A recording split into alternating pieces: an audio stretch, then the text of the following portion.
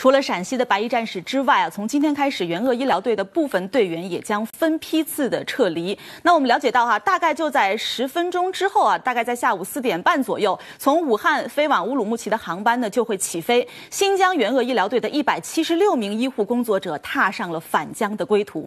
那现在呢，我们的记者田杰就在天河机场去送别这些白衣英雄。我们马上来连线田杰。田杰你好。好的，主持人。新冠肺炎疫情发生以来呢，我们看到有来自全国的三百多支医疗队，共计四万多的医护工作者啊，一纸调令，奔赴沙场，从祖国的四面八方来到湖北，来到武汉，和我们本地的这些医务工作者们一起呢，共同战斗在抗击新冠肺炎疫情的最前线。可以说，他们的到来不仅仅是给我们带来了医学上的援助，更给我们带来了希望，给当时的湖北、当时的武汉呢，是打上了一剂强心针。那么，在经过了这些天的努力之后呢，我们跟他们一起共同的见证了火神山、雷神山的建成收治，见证了一座座方舱医院从无到有，再从有到修，见证了一个一个患者出院康复出院的好消息。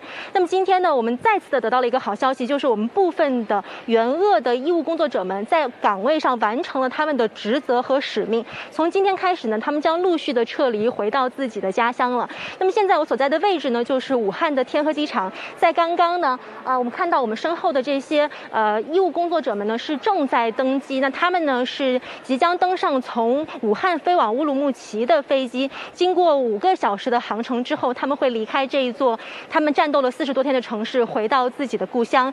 那么我们刚刚也是特意的挽留了一位我们的新疆援鄂医疗队的护士，想请问一下您，在这一座城市战斗了四十天，现在马上就要离开了，此时此刻心情怎么样呢？呃，心情呃可以说比较复杂吧。一方面我们知道我们要回家了，回家了非常的高兴。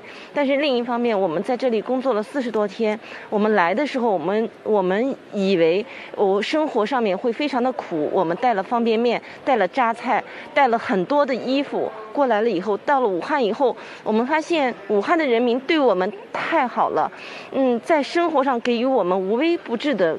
各种关怀和照顾，让我们能够放下任各种的顾虑，呃，投入到我们的抗疫战斗中。呃，所以说，我觉得这一次的抗疫能够那么顺利的完成，呃，取得阶段性的成果，一方面是我们全国的医务工作者万众一心，呃的一个努力的一个成果；还有一个方面，还有就是来自于武汉人民对我们的这个热情厚爱，让我们有无穷的力量，呃，来。做好这次工作，嗯，谢谢。马上就要离开了，有没有什么想对我们电视机前的湖北的市民朋友、对武汉的市民朋友说的呢？嗯，呃，武汉的朋友们，我们先走一步，呃，我我们先回家了。我们等到明年樱花盛开的时候会来看大家，希望大家身体健康，生活如意。好的，谢谢您，也请你们一定要保重自己的身体，不耽误您登机了。谢谢您啊。那么今天呢，和我们的这个新疆的援鄂医疗队一起要离开武汉的呢，总共的安排是有四十一支队伍，总共共计呢三千多的医护工作者。那么天河机场的情况怎么样呢？我们请武汉天河机场运行管理中心的这个赵主任，赵主任你好，来给我们介绍一下咱们整体的一个情况。好的，今天是这个援鄂医疗队呃乘机返程的第一天。啊，到目前为止，计划是二十一班，有两千五百多人通过天河机场离开武汉。到他们生他们工作的地方。嗯，那其实他们来武汉见到的第一波武汉人是咱们机场的工作人员。今天要挥别武汉，最后见面的还是咱们机场的工作人员。我们今天对他们有没有一些特别的安排呢？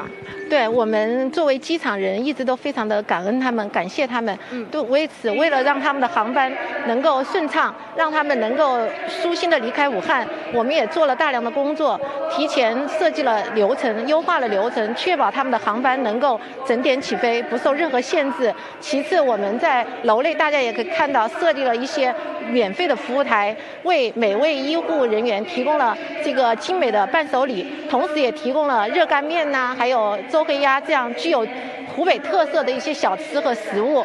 然后我们还组织了大量的志愿者，包括从他们的车辆进入高速公路收费站的那一刻起就进行引领，楼外进行一个欢送，然后楼内的这个所有流程的一个引领，包括我们我们机场做了这种专门为他们设计了一个有纪念意义的登机牌，登机牌上写着。